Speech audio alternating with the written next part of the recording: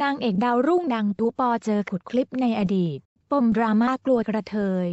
ขึ้นเอฟเทนอเป็นนางเอกเต็มตัวแล้วสำหรับใบมอน กิตปฏิยา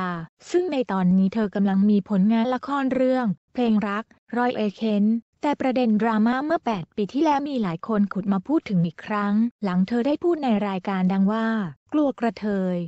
ใบมอน กลัวกระเทยเพราะเขาเป็นผู้ชาย หนูก็มีเพื่อนกระเทย บีน้ำทิพย์คือพี่กำลังจะบอกว่าน้องไม่ชอบกระเทย น้องทำงานในวงการนี้ไม่ได้ กระเทยไม่ได้เป็นเพศที่เลวร้าย สนุกด้วย และกระเทยเก่งๆมีเยอะแยะ ถ้าน้องยังเปิดใจไม่ได้ก็ทำงานตรงนี้ยาก ล่าสุดวันที่ 11 เดือนมีนาคมปีพุทธศักราช 2566ใบหมอนได้ออกมาเปิดใจเรื่องดราม่าในอดีตว่า เรากลับไปดูคลิปเก่าๆของเราและมันคือปมในใจเพราะมีคนมาคอมเมนต์ด่าเอเรง